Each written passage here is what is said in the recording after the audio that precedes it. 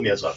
Beləliklə, seçki komissiyaları əvvəlki kimi qalacaqsa, qeydiyyat problemi həll olunmayacaqsa, təşviqat imkanları olmayacaqsa, televiziya imkanları olmayacaqsa, mitinqlər keçirmək imkanları olmayacaqsa, effektiv şəkildə seçkinin nəticələrini qorumaq imkanları olmayacaqsa, bu gün bu sualların hamısının cavabı bir mənalıdır, yoxdur heç biri. Bax, bu gün üçün biz sizlə indidən danışırıq.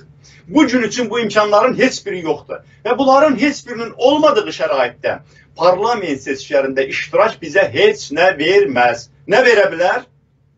Hökumət əlbəttə ki, istədiyi şəkildə oradakı tərkibi dəyişər, özünün yeni klanın, üstünlük qazanan klanın xeyrinə ora əl gəzdirər. Sonradan müxalifətlə də bağlı yeniləşmə apara bilər. Yəni əgər 2015-ci ildə hal-hazırda müxalifət adından müəyyən adamlar əyləşdiriblər parlamentdə, məsələn bu ilin axırında da növbədən kənar seçki keçirdərlər.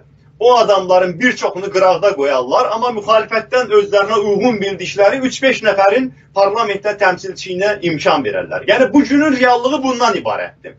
Və bu belə başa düşülməli deyil ki, biz növbədən kənar parlament seçkiləri istəmirik. Hamıdan artıq istəyirik. Çünki biz bunun nəticələrini tanımamışıq bu seçkilərin.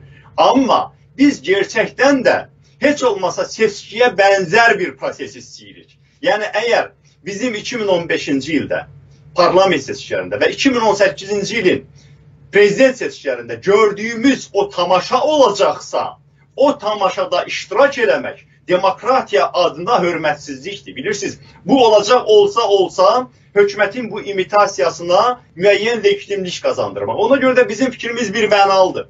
Ya hökumət islahatlara gedəcək və ondan sonra keçirilən seçkilərə də müxalifət qatılacaq, ya da heç bir islahat olmadan geriyə heç bir addım atılmadan növbəti bir saxta şou keçiriləcəksə, real müxalifət belə bir seçkilərdə iştirak etməməlidir.